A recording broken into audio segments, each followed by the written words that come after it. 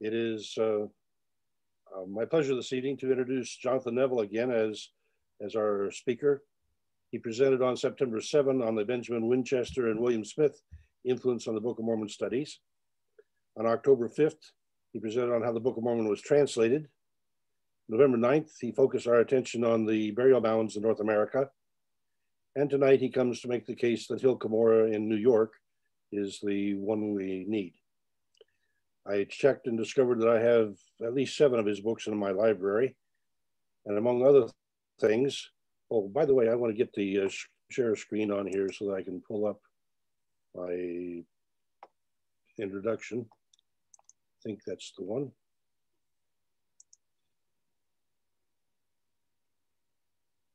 Now, do you get to see top of the hill, Cumorah? Yes. All right, there's Angel Moroni on, on his stand on the top of Hill Cumorah in New York. Um, as I say, I have at least seven of his books, and I appreciate his integrity and welcome him again to our forum tonight. There's at least two more books that I that I want us to be able to invite him back for. Um, his uh, efforts on the city of Zarahemla, and then what also happened to the Golden Plates are two of the books that he has not really reported on. But uh, this evening he'll be uh, giving us the report on the on Between the Hills, which uh, I have found to be academically challenging and interesting as well. But I'm sure it'll bring up a lot of good questions. And so I want to welcome him back for uh, this presentation and anticipate uh, a couple more in the future.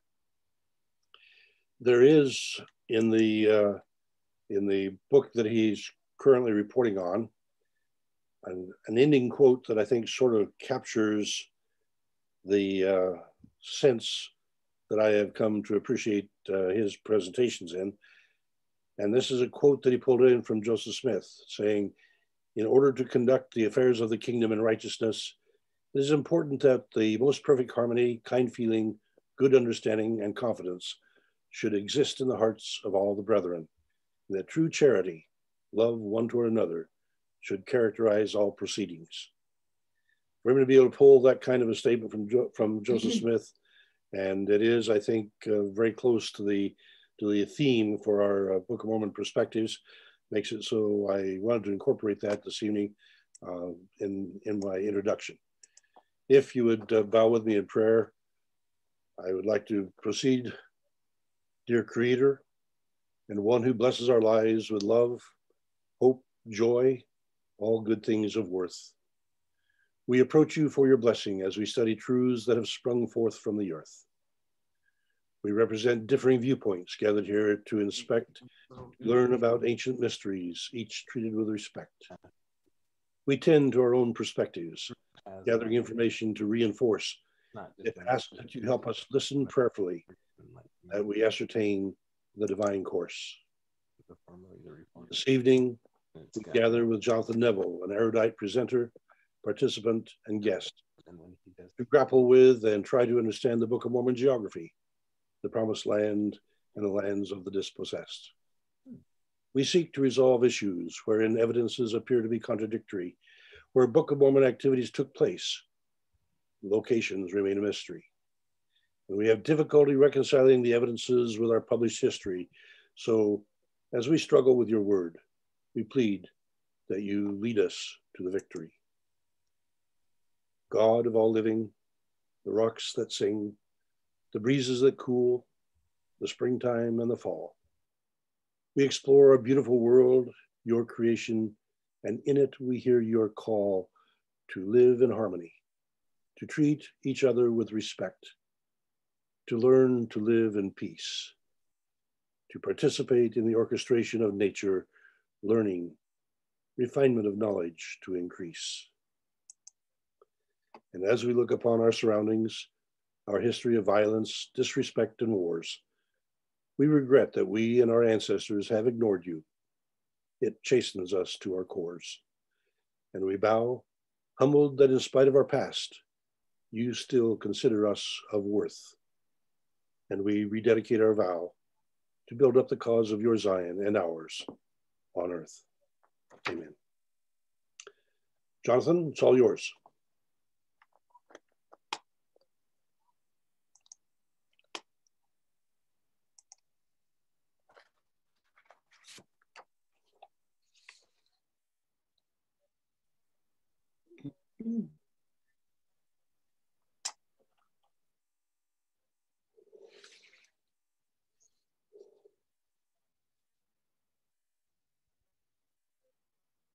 I'm not sure where they went. I had to let them back in.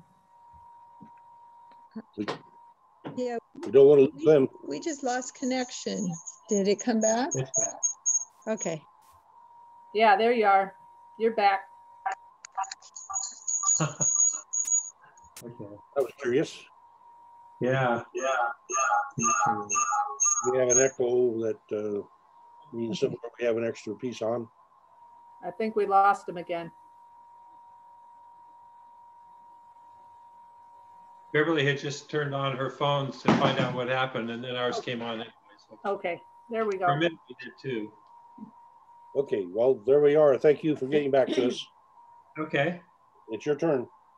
Oh, all right. Well, I'll share my screen then. Thanks you again, as always, Paul, for the introduction, even though we didn't hear the very end of it, but um, I don't know what happened there. So I can just share my screen here and we'll make sure it works. Is that working? Yes. Okay. Well, this, um, as Paul mentioned, this is a, a case for the New York Cumorah based on prophet scriptures and evidence. And I want to uh, start off here by letting you all know if you want a copy of the presentation. I know Paul records these, but if you want just the presentation as a, a PDF of, of the slides, just of the slides, you can email us here or email Paul and, and I can get them to you. That way you don't have to try to take, you know, pictures or whatever. Okay, this is what the book looks like between these hills. I'm not gonna elaborate on that. But I, I really have enjoyed these forums because of the approach Paul takes where we're just exploring ideas. And I, so I, I, I have this um, thing that I've been emphasizing lately about the psychology of belief and how people form their opinions and, and so on.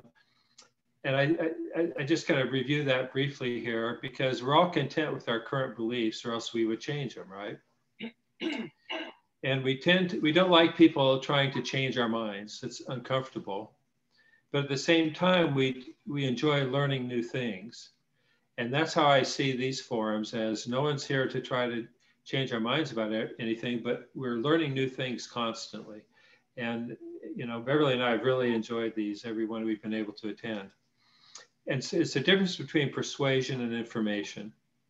And so what I'm hoping to do tonight is to provide additional information that uh, we can all factor in however we want. Another element of the psychology of belief is this, the phenomenon of confirmation bias.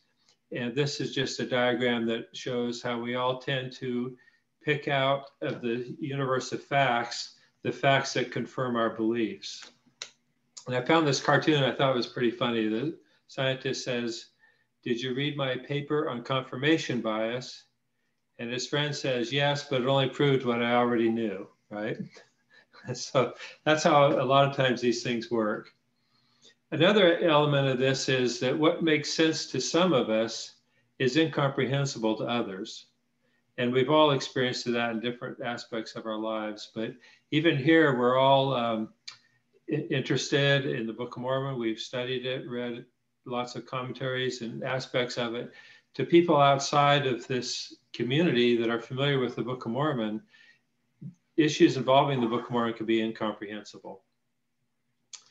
One element of this is keeping our perspective because when an, an issue is important to us, sometimes we can have a distorted idea of how important the issue is to other people.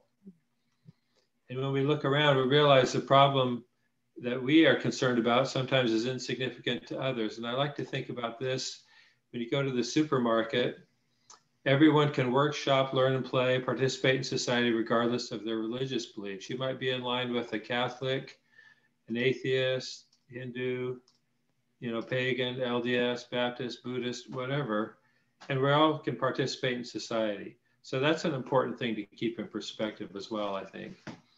At the same time, when someone says an issue is not important, it only means it's not important to them. But if an issue is important to us, we can assume it's also important to at least some other people. And, and with that in mind, I want to talk a little bit about this um, issue of the Hill Cumorah. And just, I like to explain my biases up front. My bias currently is that the Hill Cumorah, New York is the place of the final battles. And that's what I'm going to be going through here. At the same time, this is a real important point. A New York Cumorah doesn't determine the other sites or the locations of Book of Mormon events. People who accept a New York Cumorah have a variety of theories about where other events took place, and that's perfectly fine. I like to frame this as multiple working hypotheses. And here, this is a diagram of um, ancient Americans between about 800 BC and pre, you know, about the time Columbus came. And you can see in these different areas, these are all potential targets for Book of Mormon peoples, or at least uh, people that Lehi's descendants lived among if they weren't uh, the majority. So, so there's lots of room for multiple working hypotheses here. And I, would like to go over this idea why we why multiple working hypotheses is a favorable approach because first off harmony it limits the potential for professional conflict and rejection because all the hypotheses are considered and evaluated. And I think that's the spirit of these forums that Paul has hosted that we all uh, consider all these hypotheses together. Then objectivity is an important one because it helps to separate us from our own hypotheses. And it shifts from a personal investment in a hypothesis to testing the hypothesis. Uh, then this idea of mentality, it, encourages lateral thinking and a focus on falsification instead of confirmation. In other words, we can look at these things from a variety of, of perspectives.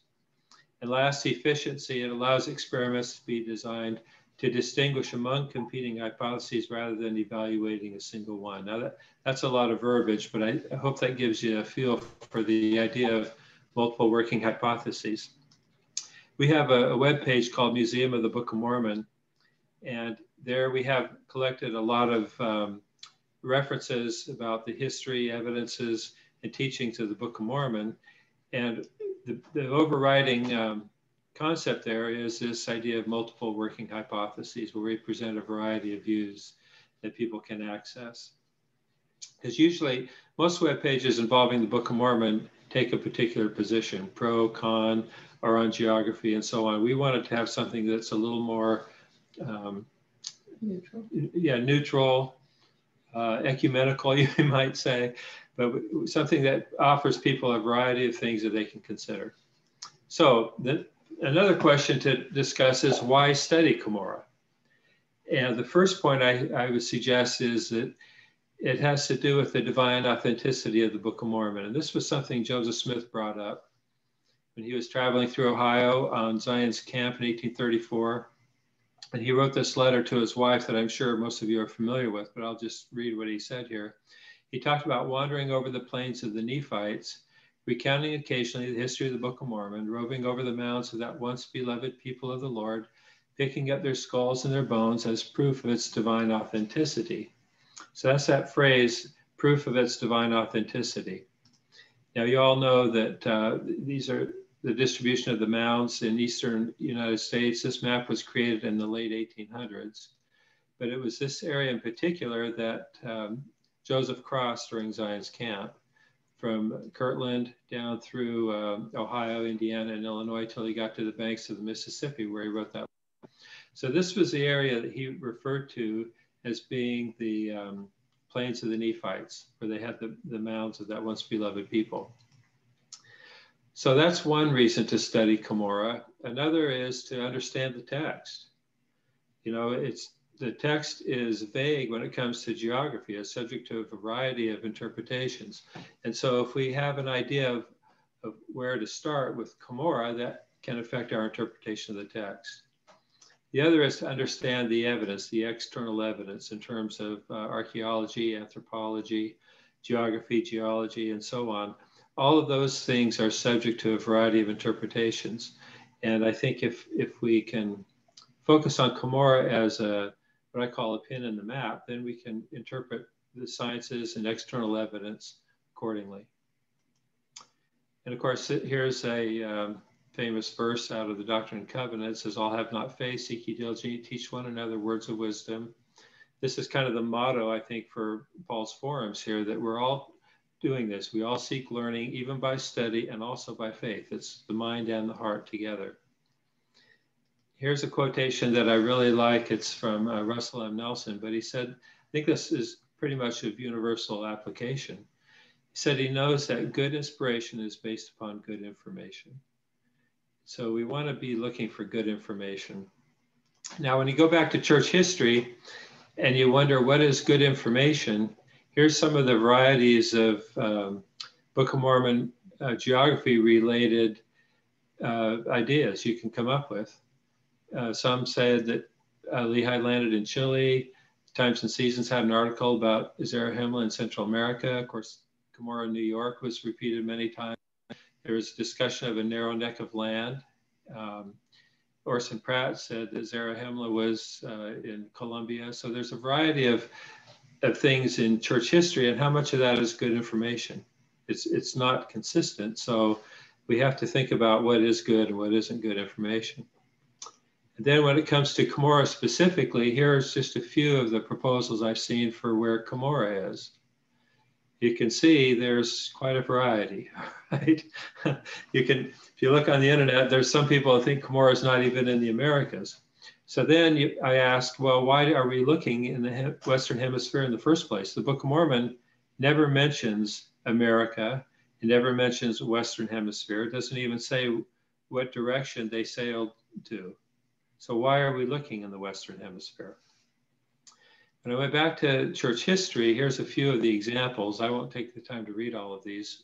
I'm sure you're familiar with most of them, but these are accounts of what Moroni told Joseph Smith. Uh, the first one uh, was had to do with um, letter number four that Oliver Cowdery wrote. And Moroni said the book was gave a history of the Aborigines of this country. And he said, I'm just going to read the part in, in gold. He said this history was written and deposited not far from that place, not far from Joseph Smith's house. And that's a, a statement that I think has been overlooked quite a bit because Moroni said the history was written not far from Joseph's house in New York. That's an interesting comment. Of course, we know it was deposited not far from that place. Then the second one on here is um, from the Wentworth letter where Joseph Smith said this important and interesting book, The History of Ancient America, is unfolded. The record, uh, we're formed by these records that America in ancient times, and then he went on to say the remnant are the Indians that now inhabit this country. So these are things that from Joseph Smith, not from the Book of Mormon itself, but from Joseph Smith saying what Moroni told him. And that's why uh, he taught that it was the history of ancient America. And then last on here is another excerpt from the Times and Seasons, The History of Joseph Smith, where Moroni said there was a book giving an account of the former inhabitants of this continent.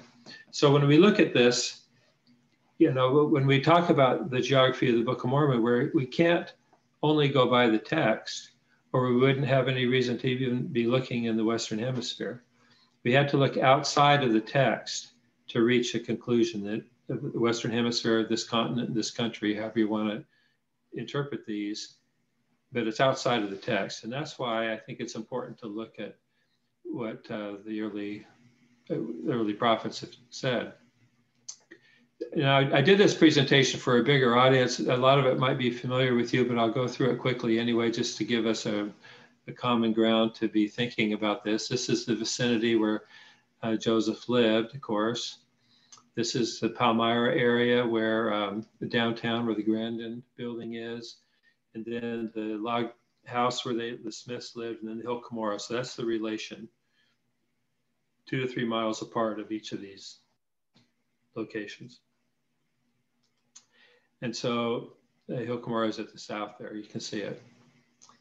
Uh, the only reference that we have in the um, in the scriptures was D&C 128 and, the LDS Doctrine and Covenants, where uh, Joseph Smith referred to Cumorah in, in connection with the coming forth of the Book of Mormon to be revealed. We know, I'm sure we're all familiar with this, Glad Tidings from Cumorah.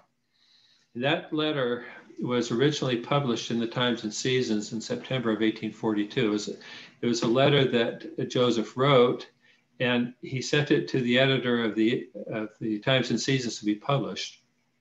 Which is one reason why I say that he was not the functional editor, he was only the nominal editor.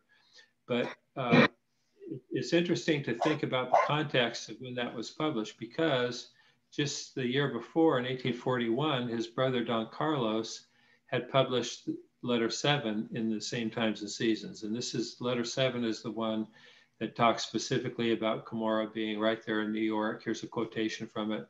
The fact that here between these hills, he was, that's where I took the title of my book. He was talking about the hill Cumorah, where Joseph got the plates, and then to the west, about a mile away, is another parallel hill. And he said it was between these two hills that the entire power and national strength of the Jaredites and Nephites were destroyed. And then he, he referred to it in this valley. He said this hill by the Jaredites was called Ramah. And so it, he was very specific in identifying the hill in New York as the hill Cumorah of the Book of Mormon.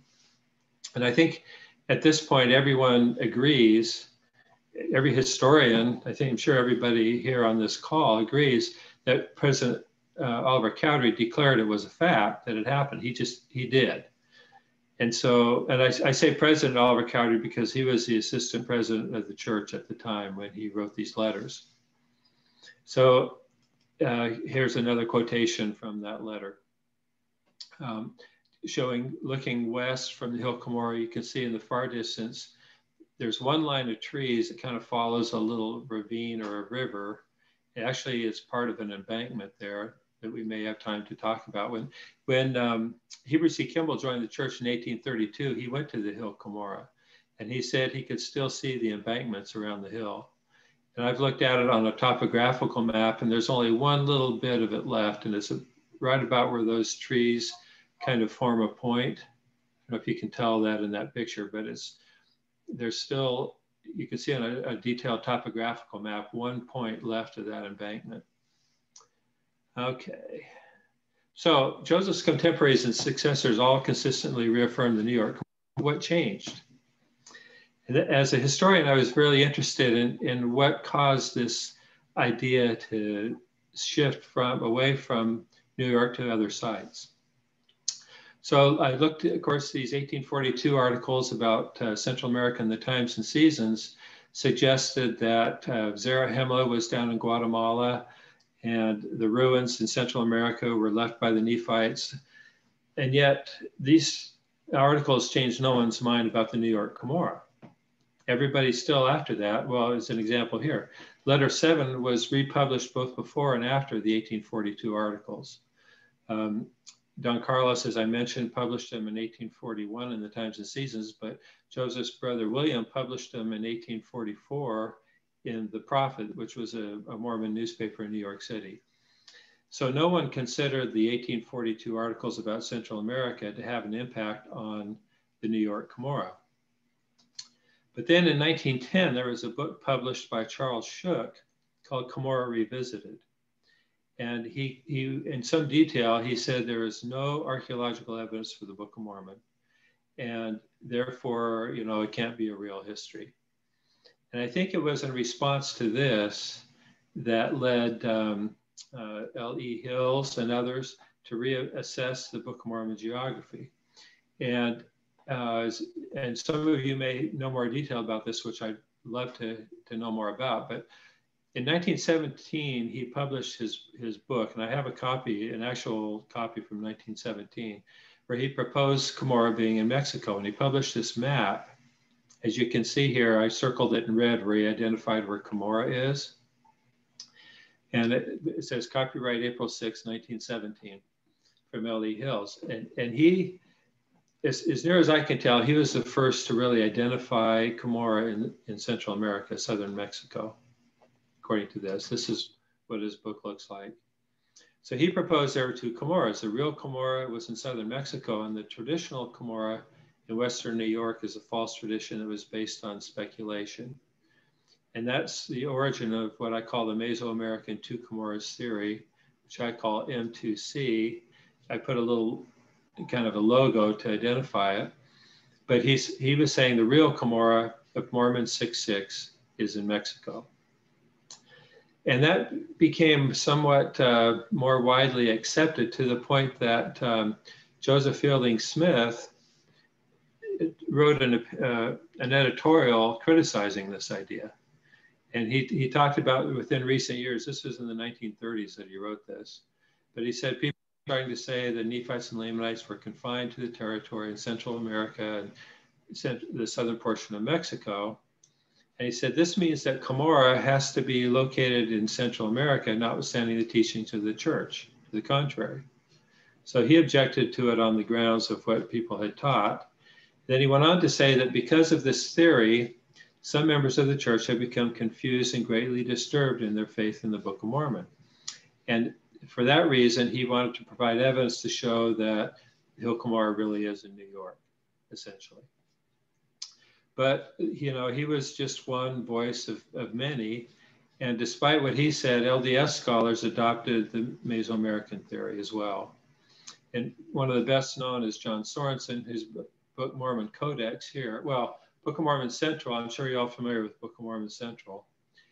And they were uh, founded and operated by followers of, of Dr. Sorenson. He wrote this about the New York Cumorah. And this is a really important um, quotation from his book because his book was so widely sold. As far as it's one of the best selling books um, from Deseret Book regarding Book of Mormon geography. And what he wrote was There remain Latter day Saints who insist that the final destruction of the Nephites took place in New York, but any such idea is manifestly absurd. Hundreds of thousands of Nephites traipsing across the Mississippi Valley to New York, pursued, why, by hundreds of thousands of Lamanites, is a scenario worthy only of a witless sci fi movie, not of history.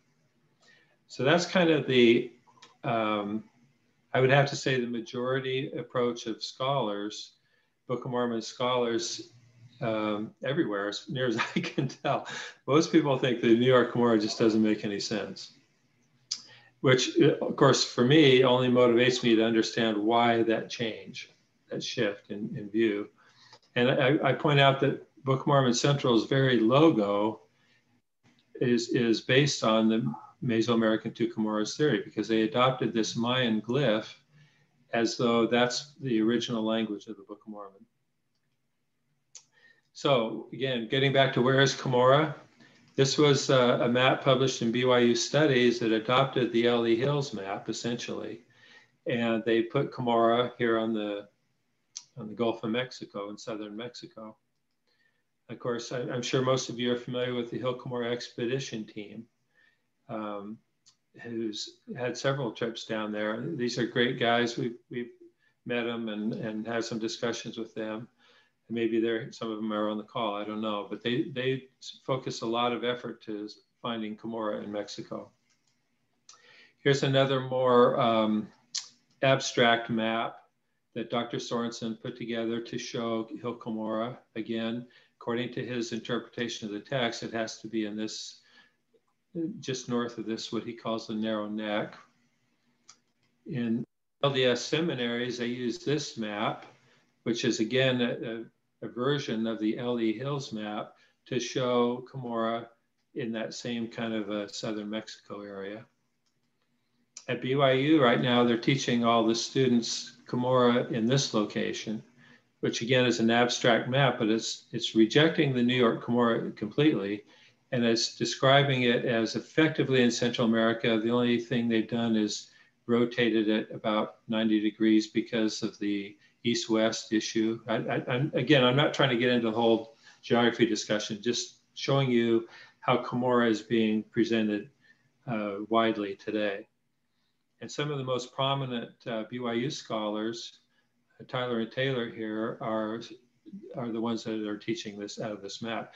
Uh, these guys, these are great guys. I know them both personally, but they have been um, doing a, a, weekly presentation on the Book of Mormon last year, and they have between 150, almost 200,000 views every week of their YouTube videos.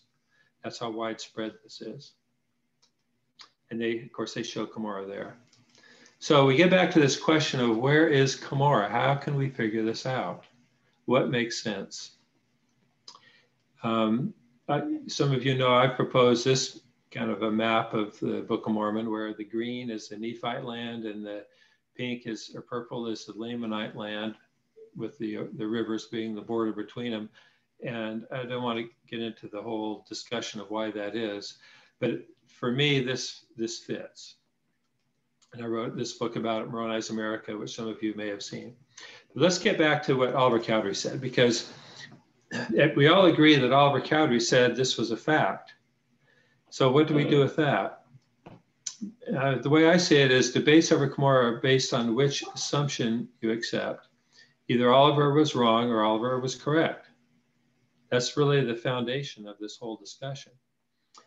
If you think Oliver was wrong, then bias confirmation kicks in and we can interpret the text accordingly. We find selected quotations from different leaders or scholars or scientists. And then we can interpret archaeology, anthropology, geology, geography, etc., to, to confirm our bias that Oliver was wrong about Cumorah. The other way is if you assume Oliver was correct, the same thing happens. Bias confirmation kicks in. We interpret the text, we find selected quotations in the sciences we can interpret to confirm it. So what do we do in this situation? Well, I like to say there's three sources that we can look at. Um, the prophets, the scriptures, and the evidence. And I, I, do it graphically this way. It's kind of a tripartite approach because when we when I say prophets, I'm referring to Oliver Cowdery, um, Joseph Smith, and their contemporaries, essentially.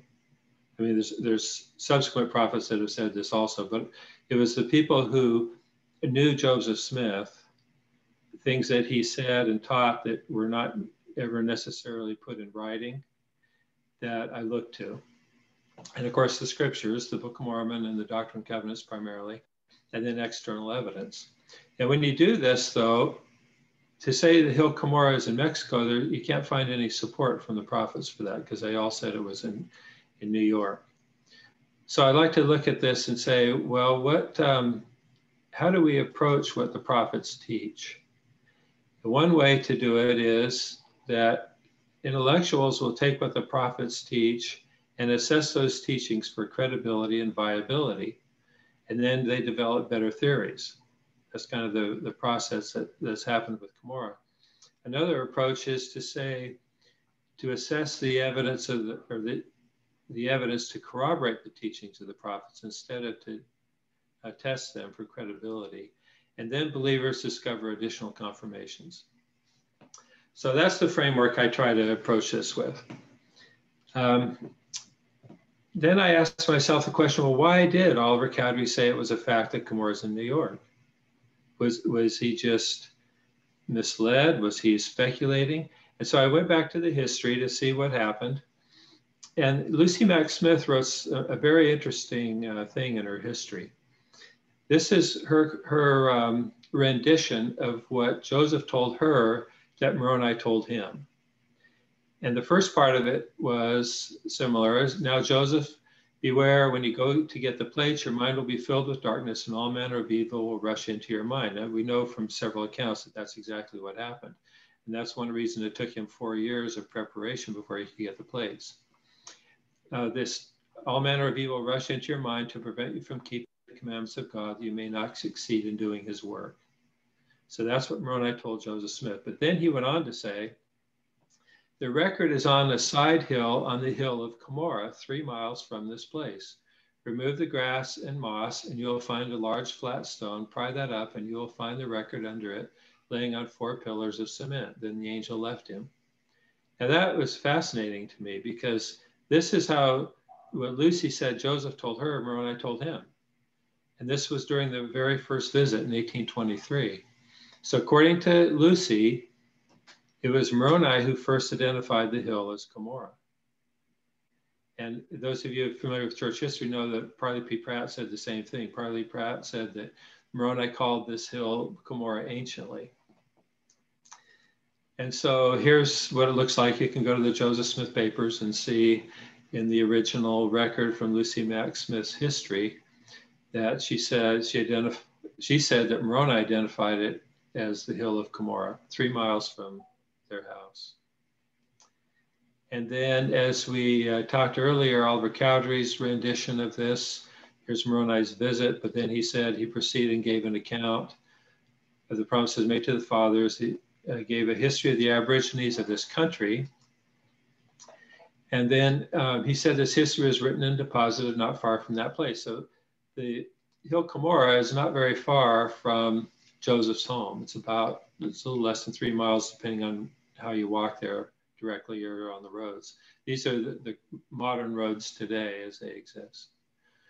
But you, you can see uh, the Canandaigua Road was a road down to um, Canandaigua that Joseph was walking on in an incident I'll, I'll tell you about here in just a minute. So today, if you go there, you can, this is a map. I, assume most, many of you have visited there, but you can walk to the Hill Cumorah from Joseph's house pretty easily. Okay, and I took this picture with my drone to show the relationship uh, of the two sites. All right, uh, and then of course Moroni went on to tell him that he could translate the, the plates with the Urim and Thummim. Uh, he, here again, this is a, a picture of the Hill Cumorah in the late 1800s. We don't know for sure how many trees were on it in Joseph's day, but it was not heavily forested the way it is today. But he was he was able when he had the visit with Moroni to have a vision of the hill and see exactly where it was so that when he visited there he would recognize it.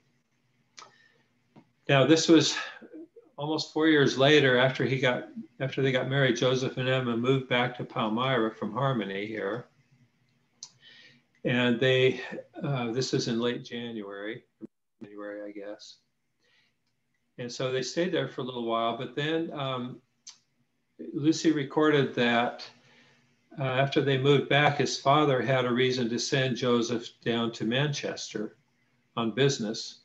And on this map, you can see the Smith home at the top, the Hill Cumorah about halfway down, and Manchester's at the bottom. It's still a town there today. So Joseph went down to Manchester, and when he was coming home, he came late uh, they, Lucy recorded here that they always had an anxiety about him when he was absent. But he finally came home and they asked, Why have you been so late? You're three hours late. And Joseph smiled and said in a very calm tone, I have taken the severest chastisement that I've ever had in my life. And my husband, Lucy's husband, supposing it was from one of the neighbors, was angry and observed, I would like to know what business anybody has to find fault with you. And Joseph said, Stop. It was the angel of the Lord. As I passed by the hill of Cumorah, where the plates are, the angel met me and said that I had not been engaged enough in the work of the Lord. So here again, Joseph referred to the hill as Cumorah to explain where he had been. So his family was familiar with it. Remember, he had told his mother that the angel called it Cumorah back in 1823. So from then on, it was always the hill Cumorah. In this case, he just he referred to the hill Cumorah, knowing that they would know where that was.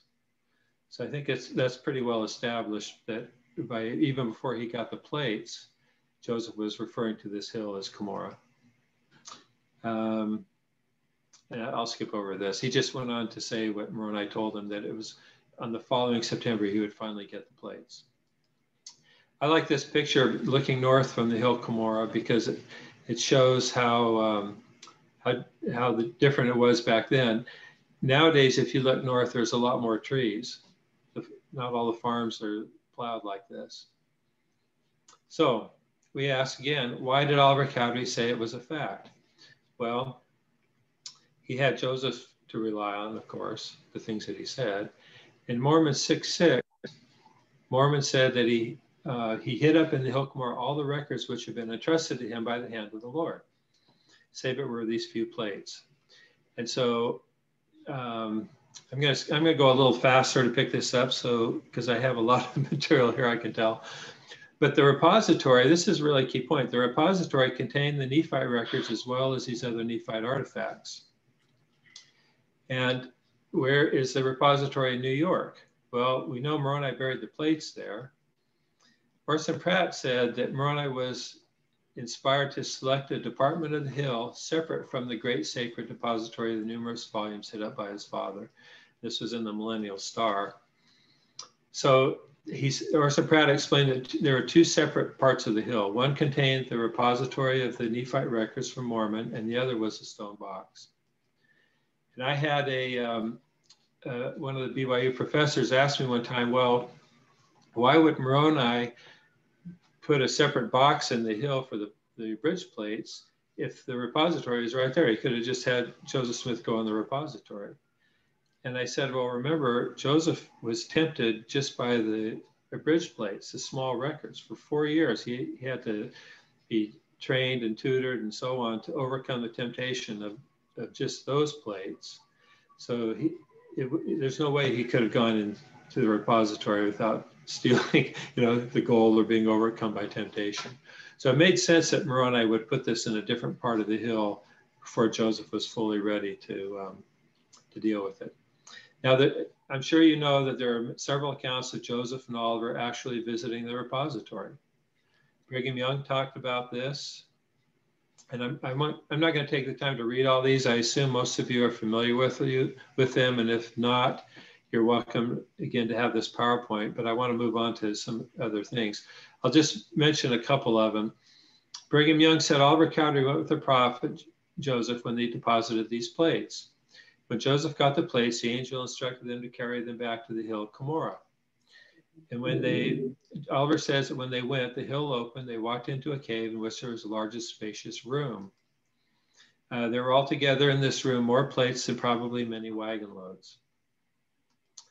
And then he says, I tell you, this is coming not only from Oliver Cowdery, but others who are familiar with it.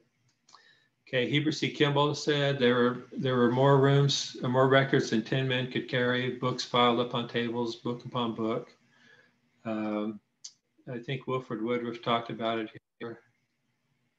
Uh, oh, this is another one. Father Smith, Oliver Cowdery, and others walking into the Hill Cumorah seeing all these records. So these were people who went, here's Wilford Woodruff talking about it. These were Joseph and his contemporaries who actually visited this repository in the Hill Cumorah in New York that, that all these other people spoke about. Um, this was Elizabeth Kane. She was on a visit to Utah and she asked where the plates were. And she was answered they were in a cave that Oliver Cowdery, though now an apostate, would not deny that he had seen them. He had been to the cave. This is what people were telling her when she visited Utah. Cowdery and Joseph were in the cave this third time. And they said the room was about 15 feet high, piled with similar gold plates. Another one said uh, out in Cedar City, Brigham Young described an apartment in the Hill Cumorah that some had entered. Um, here's some more. Any, anyway, there's a lot of these accounts. I don't have time to go through them all. But um, the point is that Oliver Cowdery could say it was a fact because Joseph told him what Moroni had told him and because Oliver had been in the repository. So to me, that's a pretty compelling reason for Oliver Cowdery to be so um, adamant and unambiguous that it was a fact that the Hill Cumorah, the final battles took place there in Western New York. And then, uh, of course, Joseph Smith and D&C 128 we've talked about. Now, what about the scriptures? The scripture, uh, New York Cumorah doesn't determine the other sites or locations of Book of Mormon events. Here's again the one that I propose as an explanation. And I guess, Paul, we could talk about this another time. I'll just show you quickly how I interpret the, the basic features that people talk about. Um, let me go back to this. Because one of the things that I find really interesting is the Book of Mormon talks about a narrow neck, a narrow neck of land, which sounds like it's different because it has a different modifier, and a small neck. And everybody assumes those are all three the same thing, as well as a narrow passage. And I think they're all different things. That's my overview of it. It also talks about a sea west south, implying there's a sea, also a sea west north.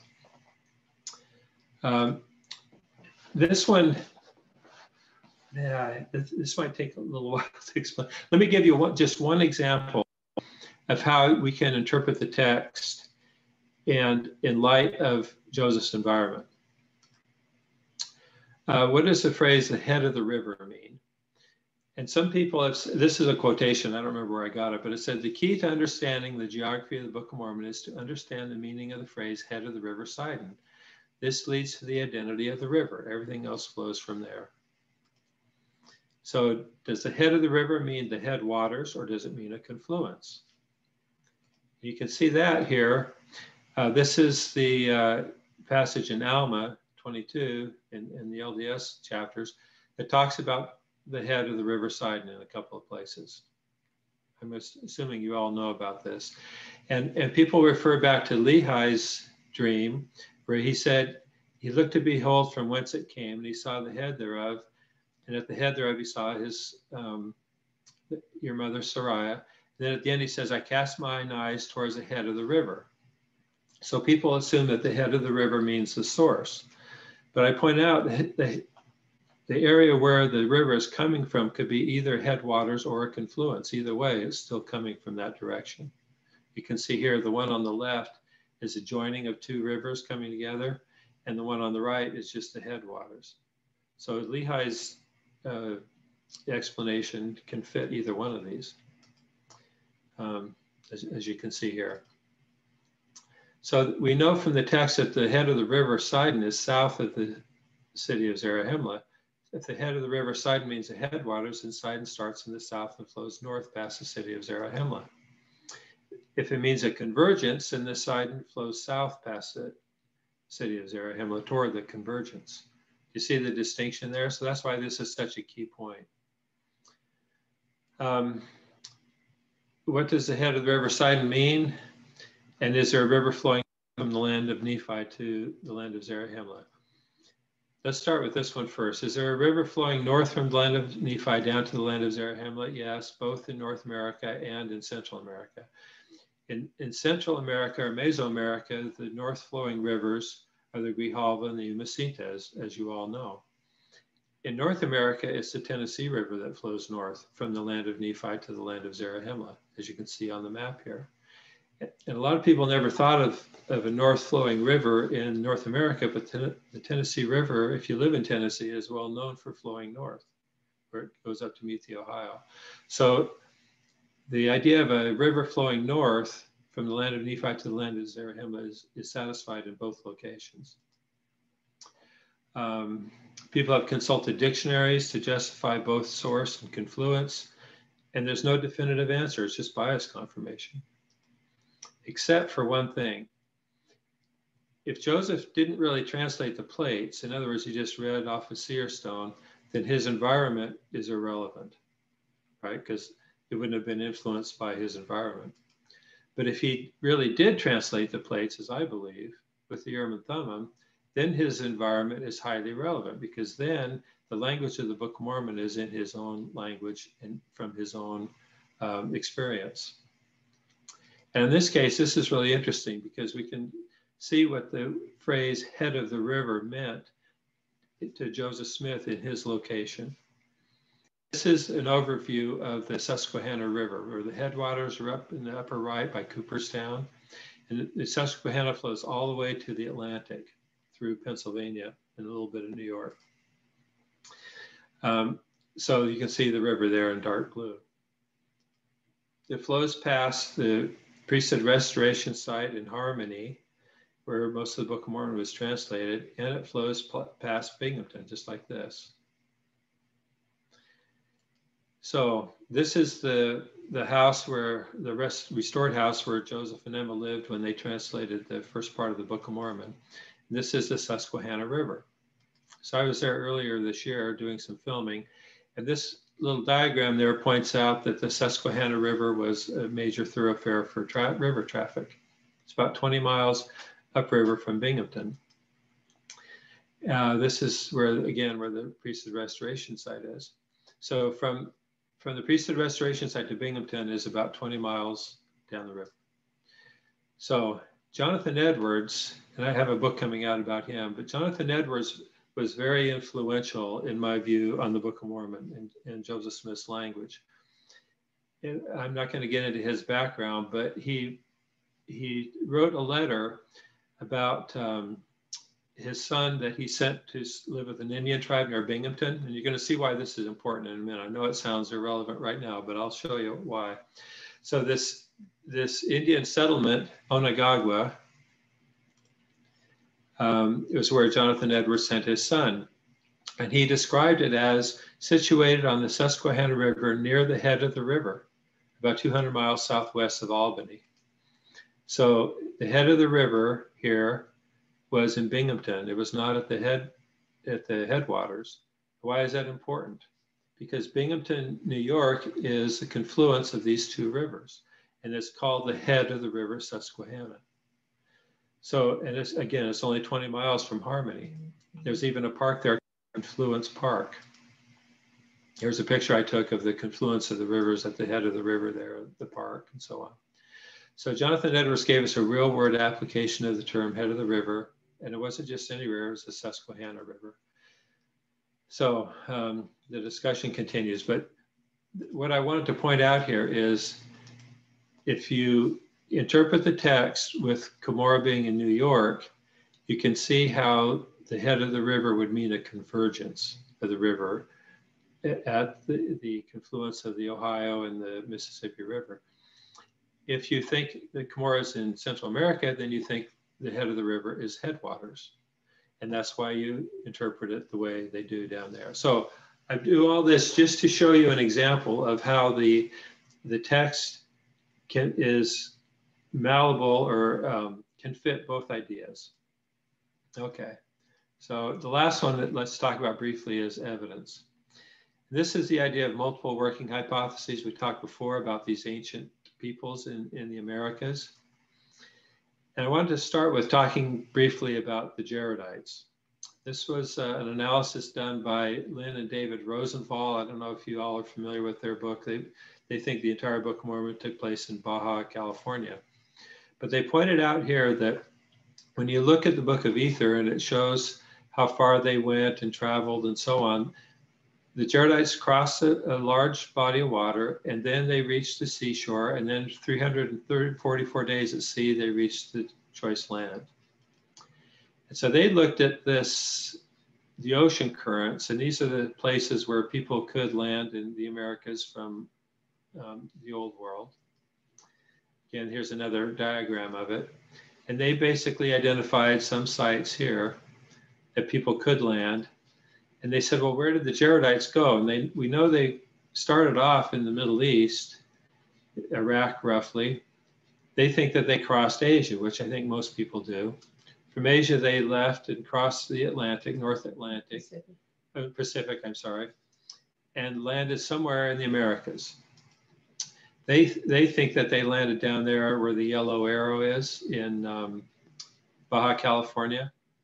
And I propose instead that they landed a little further north of that. And I've explained this before that uh, there's an Indian tribe in, in British Columbia that their origin tradition is that they came in, in boats and they had glowing pearls inside. So, I mean, there's more to that as well. But there's all kinds of um, ways you can interpret this. But this at least is consistent with the science about crossing the, the North Pacific. So from there, in my view, they, the Jaredites, the descendants of Jared himself, cross over into the Great Lakes area. Whereas the brother of Jared and his friends, which the record doesn't even talk about, went further to these other civilizations.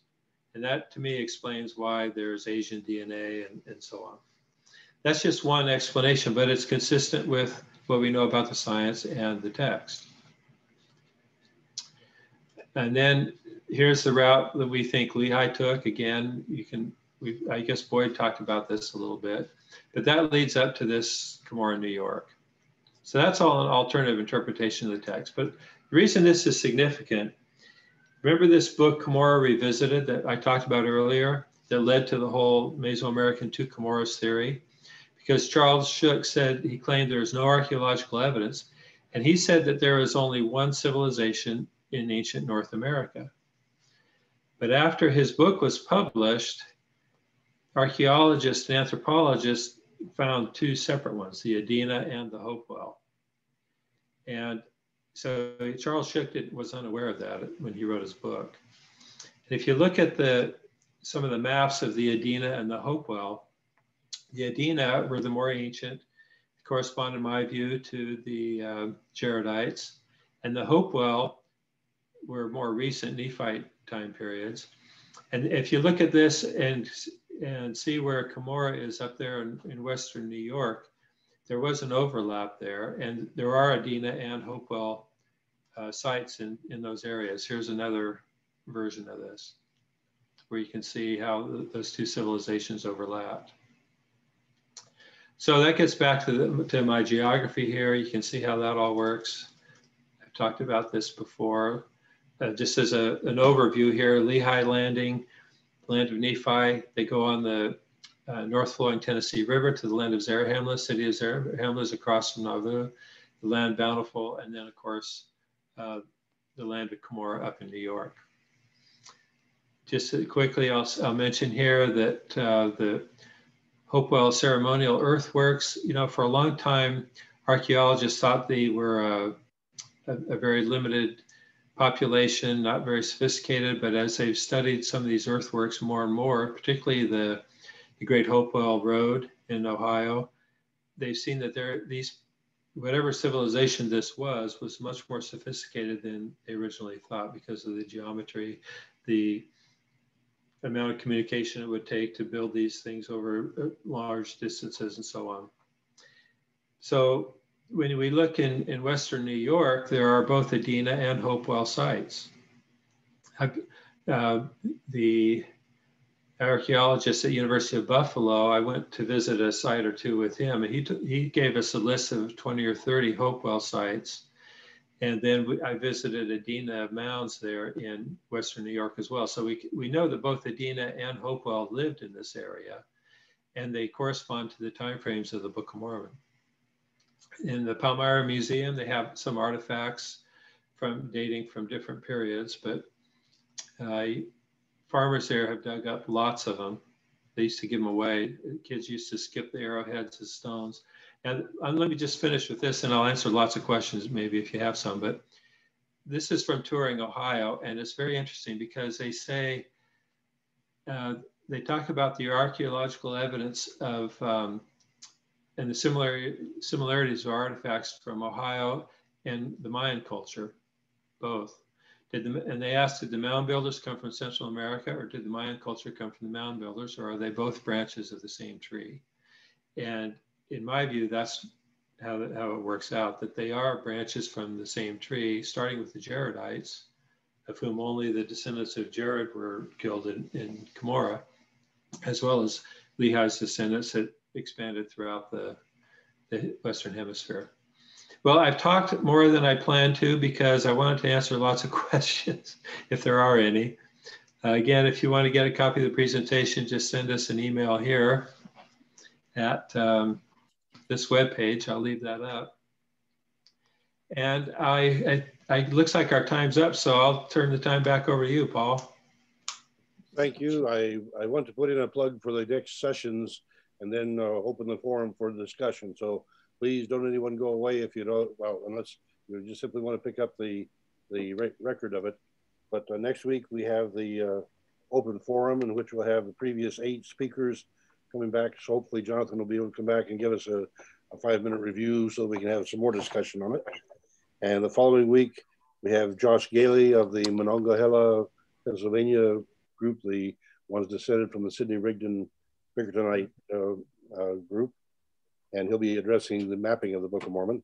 And his, I think, is particularly interesting because that group has, I think, uh, rather subtly gotten itself involved in, I think, over 22, 22 countries uh, sharing the Book of Mormon message. And then on the 29th of March, we have the testimonies from Roger Gilbert. We have uh, about six people that have volunteered to share the testimonies, and we could put another one or two if you'd like to uh, get five minutes there to share your testimony about the Book of Mormon. Then Ralph right. Willison will be coming back on April 20 on April 5. He presents the Choctaw Vantage Point the uh, First First Nations vantage point on the Book of Mormon.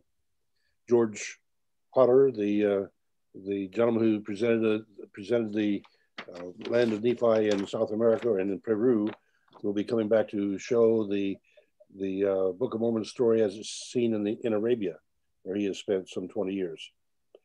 Faye Shaw will then be on the 18th of April, sharing the uh, New Covenant uh, edition. John Hamer will be sharing with us on the 26th, and uh, he is pastor of Community of Christ in Toronto, and his his, his uh, focus, I think, will be on the the 19th uh, century themes in the Book of Mormon. Um, he'll be followed by Elroy Hendrickson, who is from uh, Belgium, and uh, his presentation is on tape, a, a brief one actually, and it uh, will show a European perspective on the Book of Mormon. And then Rick Bennett, uh, I believe he's with us this evening. Rick Bennett uh, is the host of the Gospel Tangents, and he's been interviewing numerous people with Book of Mormon ideas, and so his will be a fascinating presentation as well. And beyond that, the the uh, the agenda is open, and others of you that would like to claim a spot to share a perspective are welcome to contact me to do that. I'll be kicking out an email tomorrow with with my email on it and the list, so you'll be uh, acquainted with it. Now then, back to the questions, back to the discussion. My apologies for not getting that